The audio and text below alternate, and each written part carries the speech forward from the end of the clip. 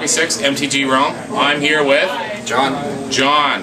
Uh, we will be looking at the new Planechase set, talk about some of the decks here. Jon is an expert.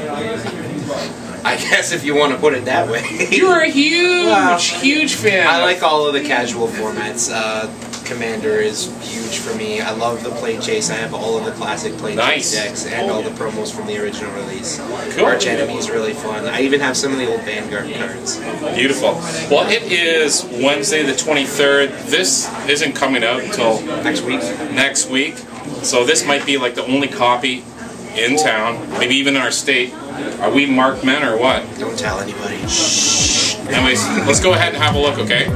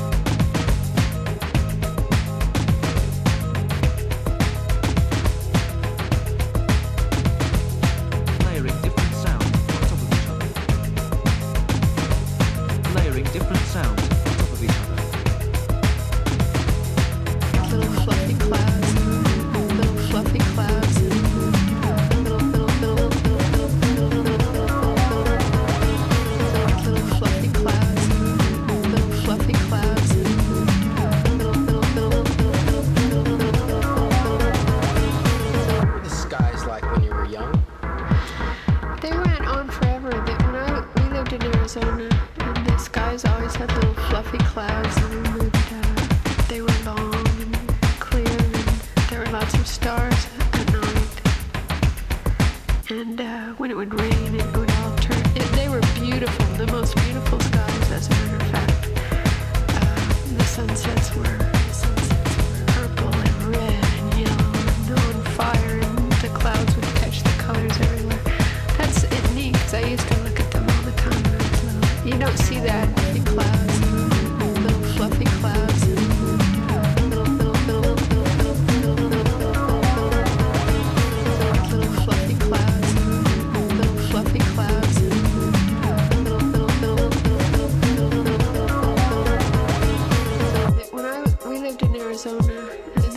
always had little fluffy clouds in them, and uh, they were long and clear, and there were lots of stars at night. And uh, when it would rain, it would all turn. It, they were beautiful, the most beautiful skies, as a matter of fact. Um, the sunsets were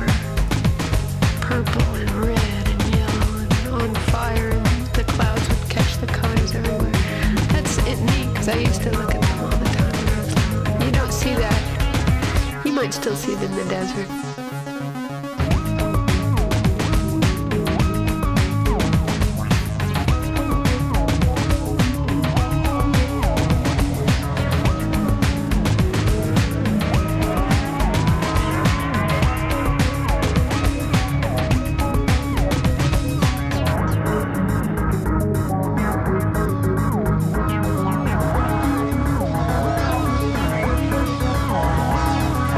From the beautiful skies, as a matter of fact.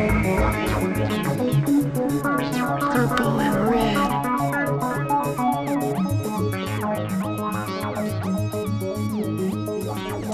Purple and red. All right, we are here again with Jon, looking at this Planechase. Now, four decks uh, for Planechase 2012. Um, each deck, we've got a ready to play 60 card magic deck. Uh, there's six new magic cards in each deck. Uh, there are 10 planar uh, uh, deck. That includes the eight plane cards and two new phenomena cards. Jon will talk to us about that. Uh, we do have the six-sided plane dice. Only two of them's got uh, got something on there. Jon will talk about that.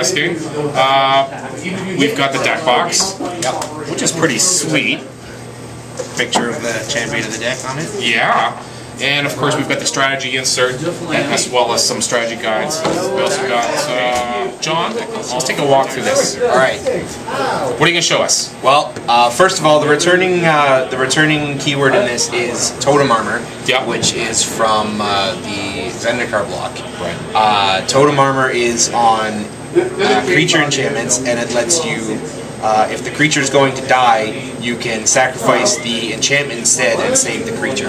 I loved Aura Gnarlid. I was a huge fan. Nobody else was playing it. Yeah, I lo- yeah, I saw him in there. I really like this deck. Yeah,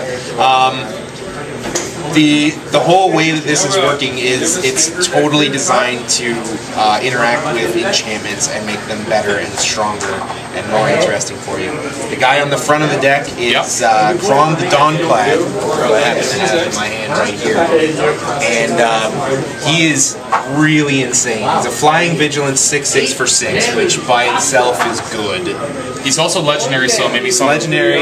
You, you want to put that like in an EDH deck, uh, commander? I, he would be a strong commander. He would be an excellent commander. Nope, I because. I don't have standard. Um, his ability is whenever he's enchanted and attacking, Yep. exile a permanent. Dang. So I attack with you. I've got And this can anything like lands, other creatures. Any Yeah. any permanent, Yep. planeswalker, land, whatever you want. That's a powerful effect. Indrik Umbra is the other gold rare in the deck. And that was uh, uh, Ravnica. Uh, we had an Indrik Stomp. Indrik Stomphowler was uh, Right. was in there. I think, as near as I can tell, all of the new cards are referencing something. Right. So Sort it's not, interesting to see that. What's this guy doing? Um, well, it's an enchantment with totem armor, as Yep. totem armor is the returning thing, and it says enchanted creature gets plus four plus four, has first strike, and all creatures able to block it so. Oh, So I just want to say, like, if you could put a take your if you take your Krond and you put the Indrik Umbra on him, oh, he becomes pretty intense. Yes, he is. Uh, next one under him is the uncommon uh, totem armor enchantment, Felidar Umbra, and this is a nod to uh, Felidar Sovereign. Felidar Sovereign. Uh, interestingly, Felidar Sovereign says uh, if you have 40 life at the start of your turn, you win the game, and Felidar Umbra gives lifelink. Dang, that was a really sneaky card back then. An alternate win condition. Players love that, eh? One of the things that I really like about this is that for uh, colorless and a white, you can move this aura from one card to another card on your field. That's pretty handy. So if something's gonna die, Yeah. you can pay two mana, swap it to something else, and it has totem armor, so totem will blow up the enchantment rather than That could save that creature. save any guy. Very cool. A returning card that I was really excited to see is Rancor. Yes. Rancor has been around for a little while, and it's been reprinted in a couple of the uh, supplemental products like Garruk versus Liliana from I think I got an Urza Saga intro deck with this in there. This is a really, really strong enchantment.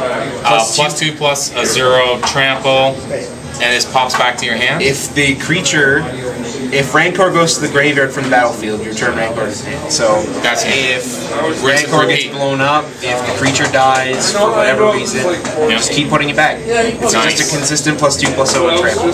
Yeah, for if one something else counts auras or enchantments, that, that that's a good There's statement a, right there. uh, one of the cards that's back is uh, Sigil of the Empty Throne. Whenever you play an enchantment, put a 4-4 angel out. Lots of tokens. Put Yeah. Play an enchantment, play an enchantment, play an enchantment, play an enchantment. Oh yeah, yeah. The skies will be full of angels, eh? What's next? Uh, Fractured Powerstone is the common artifact that's in all of the uh, Planechase 2 decks. Okay. And you might remember uh, that Command Tower was in uh, uh, uh, Command Tower Commander, was, yeah, this right? is very much the same idea as the Command Tower. It's This is a card specific card for Planechase. for Planechase. It does really, like, it's two mana to tap for a colorless in any other format, which is not great when you can play something like Sol Ring. Right. But the fact that you can roll the planar die for free, Right. because every time usually that you roll the planar die, it costs one more mana than the last time you cast it. So rolling it for free is really strong. Nice. Okay, real quick, let's have a look at some of these planes here. We're not, we can't go through them all because Right we don't that, have that much time. But what do we got? Well, three that I really like. Uh, I picked out two uh, planes and a phenomenon for you. Um, the first one is the Edge of Malacol. Oh, okay. It's uh, interesting little card there. Uh, rather than untapping your creatures on your untapped step, you put two plus one plus one counters on them. Oh, nice. So they remain tapped until But- you roll chaos, and then chaos says untap all creatures. That could be really threatening. Very nice. The phenomenon I pulled out is the Planewide Disaster. Oh yeah. Wrath of God on a uh, on the phenomenon is interesting to say the least. Yeah. Uh, one of the most interesting things about that is because totem armor is the returning mechanic here. That's saving the everything that's got blow up rather than the rather than the creatures. So you can play this and still be confident that your guys will live. Very cool. Very cool. And the final one that I pulled out is Talon Gates. Talon Gates is uh, an interesting plane to say the least. Um, Talon Gates gives things suspend, which Okay. suspend is a keyword from the time spiral block that allows you to put things aside for a little bit, Right. uh, remove some counters from them at the start of every one turn, and when they get to zero, they come into play right. for free. So rather than paying their full cost now, pay a little bit and spend some time and get them back later. And the chaos lets you remove time counters off of your suspended permanents. Oh, okay. So that much faster. It's really interesting. They've done a lot pushing it further than the last planes were. And the last some of the last planes were really dumb. So to see this kind of stuff in this new format, I'm super excited. Very cool. Well, we looked at the decks, uh, and we specifically looked at Savage Auras. Jon, thank you very much. Thank you.